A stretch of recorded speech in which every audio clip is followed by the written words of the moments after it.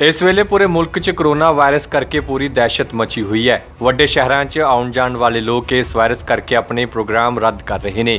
Virus ਕਾਰਨ ਹੁਣ ਤੱਕ ਚੀਨ 'ਚ 100 ਤੋਂ ਵੱਧ ਜਾਨਾਂ ਜਾ ਚੁੱਕੀਆਂ ਨੇ ਤੇ 4000 ਦੇ ਕਰੀਬ ਲੋਕ ਇਸ ਵਾਇਰਸ ਤੋਂ ਪੀੜਤ ਹੋ ਚੁੱਕੇ ਨੇ। ਚੀਨ ਤੋਂ ਬਾਅਦ ਇਸ ਵਾਇਰਸ ਨੇ ਹੁਣ ਸਾਡੇ ਮੁਲਕ 'ਚ ਵੀ ਦਸਤਕ ਦੇ ਦਿੱਤੀ ਹੈ। ਬੀਤੇ ਦਿਨੀ ਮੁੰਬਈ ਅਤੇ ਇੱਕ ਹੋਰ ਵੱਡੇ ਸ਼ਹਿਰ 'ਚ ਇਸ ਦੇ ਸ਼ੱਕੀ ਮਰੀਜ਼ ਪਾਏ ਗਏ ਨੇ, ਜਿਸ ਤੋਂ ਬਾਅਦ ਪੰਜਾਬ 'ਚ ਵੀ ਇਸ ਵਾਇਰਸ ਦਾ ਪੂਰਾ ਖੌਫ ਪਾਇਆ ਜਾ ਰਿਹਾ ਹੈ। ਉਧਰ ਮੁਕਤਸਰ ਦੇ ਗਿੱਦੜਬਾਹਾ 'ਚ ਕਰੋਨਾ ਵਾਇਰਸ ਵਾਲੇ ਮਰੀਜ਼ਾਂ ਨਾਲ ਨਿਪਟਣ ਲਈ ਵਿਸ਼ੇਸ਼ ਆਈਸੋਲੀਨ ਵਾਰਡ ਬਣਾਇਆ ਗਿਆ ਹੈ ਅਤੇ ਡਾਕਟਰਾਂ ਦੀ ਵਿਸ਼ੇਸ਼ ਡਿਊਟੀ ਲਗਾਈ ਗਈ ਹੈ। ਇਸ ਦੇ ਨਾਲ ਹੀ ਵਾਇਰਸ ਦੇ ਲੱਛਣਾਂ ਬਾਰੇ ਵੀ ਡਾਕਟਰ ਲੋਕਾਂ ਨੂੰ ਦੱਸ ਰਹੇ ਨੇ। ਕਰੋਨਾ ਵਾਇਰਸ ਵਾਸਤੇ ਇਹ ਕਿ ਆਪਣੇ ਹਸਪੀਟਲ ਦੇ ਵਿੱਚ ਇੱਕ ਸਪੈਸ਼ਲ ਆਪਾਂ ਫਲੂ ਕਾਰਨਰ ਬਣਾਇਆ, ਜਿੱਥੇ ਕਿ ਕੋਈ ਜਿਹੜੇ ਇਸੇ ਤਰ੍ਹਾਂ ਦੇ ਸਿੰਪਟਮ ਦੇ ਨਾਲ, ਕੋਈ ਫਲੂ ਦੇ ਸਿੰਪਟਮ ਨਾਲ ਆਉਂਦਾ, ਉਹਨਾਂ ਦੀ ਸਕਰੀਨਿੰਗ ਕੀਤੀ ਜਾਂਦੀ ਹੈ।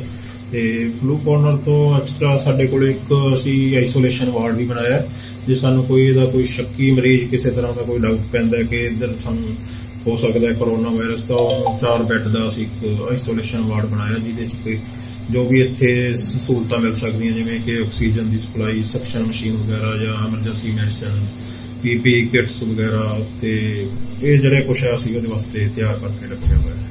ਇਸ ਤੋਂ ਬਿਨਾਂ ਅਸੀਂ ਸਟਾਫ ਨੂੰ ਜਿਹਨੂੰ ਕਿ ਜਿਨ੍ਹਾਂ ਦਾ ਕੰਟੈਕਟ ਪੈ ਸਕਦਾ ਹੈ, ਉਹਨਾਂ ਦੇ ਨਾਲ ਅਸੀਂ ਟ੍ਰਿਪਲ ਲੇਅਰ ਮਾਸਕ ਤੇ ਆਪਦੀ ਪਰਸਨਲ ਇਕਵਿਪਮੈਂਟ ਜਿਹਦੇ ਨਾਲ ਕਿ ਇਨਫੈਕਸ਼ਨ ਉਹਨਾਂ ਨੂੰ ਸਟਾਫ ਨੂੰ ਨਾ ਹੋਵੇ, ਉਹਦੇ ਵਾਸਤੇ ਵੀ ਜਾਣਕਾਰੀ ਸਾਰੇ ਸਟਾਫ ਨੂੰ ਦਿੱਤੀ ਹੈ ਤੇ ਸਮਾਨ ਸਾਡੇ ਕੋਲ ਹੈ। ਵਿੱਚ ਇਹ ਹੈ ਕਿ ਫਿਲਹਾਲ ਤਾਂ ਖੈਰ ਆਪਾਂ ਨੂੰ ਘਬਰਾਉਣ ਦੀ ਕੋਈ ਲੋੜ ਨਹੀਂ ਹੈ, ਕਿਉਂਕਿ ਇੰਡੀਆ 'ਚ ਹਾਲੇ ਤੱਕ ਆਪਣਾ ਕੋਈ ਵੀ ਇਹੋ ਜਿਹਾ ਕੇਸ ਨਹੀਂ ਆਇਆ। ਔਰ ਇੰਟਰਨੈਸ਼ਨਲ ਬਾਰਡਰ ਤੇ ਸਾਰੇ ਥਾਂ ਤੇ ਇਹਨਾਂ ਦੀ ਜਿਹੜੀ ਸਕਰੀਨਿੰਗ ਪੇਸ਼ੈਂਟਸ ਦੀ ਹੋ ਰਹੀ ਹੈ।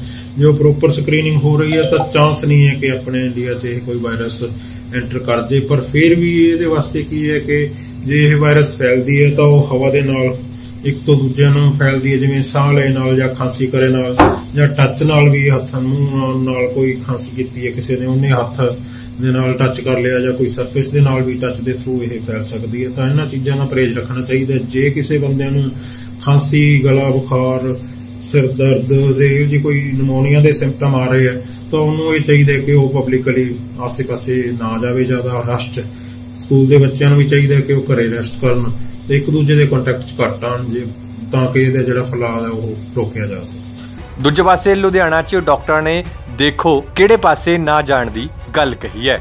ਸਿਹਤ ਵਿਭਾਗ ਵੱਲੋਂ ਕੋਰੋਨਾ ਵਾਇਰਸ ਨੂੰ ਨਜਿੱਠਣ ਦੇ ਲਈ ਸਾਰੇ ਸਿਹਤ ਸੰਸਥਾਵਾਂ ਅਤੇ ਪ੍ਰਾਈਵੇਟ ਹਸਪਤਾਲਾਂ ਨੂੰ ਐਡਵਾਈਜ਼ਰੀ ਜਾਰੀ ਕਰ ਦਿੱਤੀ ਗਈ ਹੈ। ਸਾਰੀਆਂ ਸਿਹਤ ਸੰਸਥਾਵਾਂ ਵਿੱਚ ਇੱਕ ਫਲੂ ਕਾਰਨਰ ਸਥਾਪਿਤ ਕਰ ਲਿਆ ਗਿਆ ਹੈ ਅਤੇ ਸਾਰੇ ਹਸਪਤਾਲਾਂ ਦੇ ਵਿੱਚ ਆਈਸੋਲੇਸ਼ਨ ਵਾਰਡ ਤਿਆਰ ਕਰ ਲਈ ਗਈ ਹੈ। ਜੇ ਕੋਈ ਅਜਿਹਾ ਸ਼ੱਕੀ ਮਰੀਜ਼ ਆਉਂਦਾ ਹੈ ਤਾਂ ਉਸ ਨੂੰ ਅਸੀਂ ਪਹਿਲ ਦੇ ਆਧਾਰ ਤੇ ਦੇਖ ਕੇ ਆਈਸੋਲੇਸ਼ਨ ਵਾਰਡ ਵਿੱਚ ਰੱਖਾਂਗੇ। ਜ਼ਰੂਰਤ ਪੈਣ ਤੇ ਜੇ ਉਹਦੀ ਸੈਂਪਲਿੰਗ ਵੀ ਕਰਨੀ ਹੈ ਸੈਂਪਲ ਕਰਕੇ ਜੋ ਲੈਬ ਹੈ ਵਾਇਰੋਲੋਜੀ ਦੇ, ਉੱਥੇ ਆਪਾਂ ਸੈਂਪਲ ਇਹਦਾ ਭੇਜ ਦੇਵਾਂਗੇ। ਬਾਕੀ ਲੋਕਾਂ ਨੂੰ, ਖਾਸ ਕਰਕੇ ਲੁਧਿਆਣੇ ਦੇ ਬਹੁਤ ਸਾਰੇ ਲੋਕ ਚਾਈਨਾ ਦੇ ਵਿੱਚ ਜਿਹੜੇ ਜਾਂਦੇ ਹਨ, ਉਹਨਾਂ ਨੂੰ ਅਸੀਂ ਸਲਾਹ ਵੀ ਦਿੱਤੀ ਹੈ ਕਿ ਉਹ ਆਪਣੇ ਚਾਈਨਾ ਦਾ ਦੌਰਾ ਪੋਸਟਪੋਨ ਕਰ ਲੈਣ, ਕਿਉਂਕਿ ਅਜਿਹੇ ਦੇਸ਼ਾਂ ਵਿੱਚ ਜਾਣਾ ਖਤਰੇ ਤੋਂ ਖਾਲੀ ਨਹੀਂ ਹੋਏਗਾ। ਬਾਕੀ ਸਾਡੇ ਸਿਹਤ ਵਿਭਾਗ ਦੇ ਸਾਰੇ ਕਰਮਚਾਰੀ ਅਤੇ ਅਧਿਕਾਰੀ ਅਜਿਹੇ ਮਰੀਜ਼ਾਂ ਨੂੰ ਦੇਖਣ ਲਈ ਤੇ ਮੈਨੇਜਮੈਂਟ ਕਰਨ ਲਈ ਅਸੀਂ ਸਾਰੇ ਪ੍ਰਬੰਧ ਕਰ ਲਏ ਗਏ ਹਨ ਤੇ ਸਾਰੇ ਪ੍ਰਾਈਵੇਟ ਹਸਪਤਾਲਾਂ ਨੂੰ ਵੀ ਦਿਸ਼ਾ ਨਿਰਦੇਸ਼ ਦਿੱਤੇ ਗਏ ਹਨ। ਸਰ ਕੋਈ ਵਿਸ਼ੇਸ਼ ਟੀਮਾਂ ਦਾ ਵੀ ਗਠਨ ਕੀਤਾ ਗਿਆ? ਹੈ ਅਸੀਂ ਰੈਪਿਡ ਰਿਸਪੌਂਸ ਟੀਮ ਬਲਾਕ ਪੱਧਰ ਤੇ ਸਾਰੇ ਸਿਵਲ ਹਸਪਤਾਲਾਂ ਲੈਵਲ ਤੇ ਤਿਆਰ ਕਰ ਲਈਆਂ ਗਈਆਂ ਹਨ।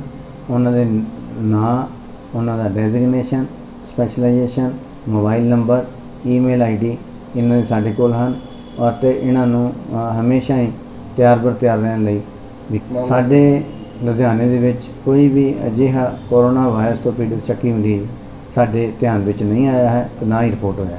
ਮੈਂ ਤੁਹਾਡੇ ਮੀਡੀਆ ਦੇ ਰਾਹੀਂ ਲੋਕਾਂ ਨੂੰ ਅਪੀਲ ਕਰਦਾ ਕਿ ਇਸ ਬਿਮਾਰੀ ਤੋਂ ਬਿਲਕੁਲ ਡਰਨ ਦੀ ਤੇ ਘਬਰਾਉਣ ਦੀ ਲੋੜ ਨਹੀਂ ਹੈ ਸਿਰਫ ਜੋ ਗਾਈਡਲਾਈਨ ਨੇ ਜੇ ਕਿਸੇ ਨੂੰ ਖਾਂਸੀ ਜ਼ੁਕਾਮ ਹੁੰਦਾ ਹੈ ਤੇ ਉਹ ਆਪਣਾ ਨੱਕ ਮੂੰਹ ਢੱਕ ਕੇ ਰੱਖਣ ਟ੍ਰਿਪਲ ਲੇਅਰ ਮਾਸਕ ਬਾਜ਼ਾਰ 'ਚੋਂ ਮਿਲ ਜਾਂਦੇ ਨੇ, ਉਹ ਵੀ ਇਸਤੇਮਾਲ ਕਰ ਸਕਦੇ ਨੇ। ਜੇ ਕਿਸੇ ਨੂੰ ਕੋਈ ਜ਼ਿਆਦਾ ਪ੍ਰੋਬਲਮ ਲੱਗਦੀ ਹੈ, ਤਾਂ ਨੇੜੇ ਦੀ ਸਿਹਤ ਸੰਸਥਾ ਤੋਂ ਐਕਸਪਰਟ ਤੋਂ ਆਪਣਾ ਟ੍ਰੀਟਮੈਂਟ ਲਵੇ। ਜੇ ਸਾਨੂੰ ਸ਼ੱਕ ਹੋਏਗਾ, ਤੇ ਅਜਿਹੇ ਵਿਅਕਤੀ ਦਾ ਸੈਂਪਲ ਵੀ ਲਿਆ ਜਾ ਸਕਦਾ ਹੈ। ਅਸੀਂ ਇੱਥੇ ਇਹ ਦੱਸ ਦੇਣਾ ਚਾਹੁੰਦੇ ਹਾਂ ਨਾਲ ਨਾਲ ਕਰੋਨਾ ਵਾਇਰਸ ਤੇ ਸਵਾਈਨ ਫਲੂ ਦੇ ਮਰੀਜ਼ਾਂ ਨੂੰ ਨਜਿੱਠਣ ਦੇ ਲਈ ਸਾਡੇ ਸਾਰੇ ਹਸਪਤਾਲ ਤਿਆਰ ਪਰ ਤਿਆਰ ਹਨ।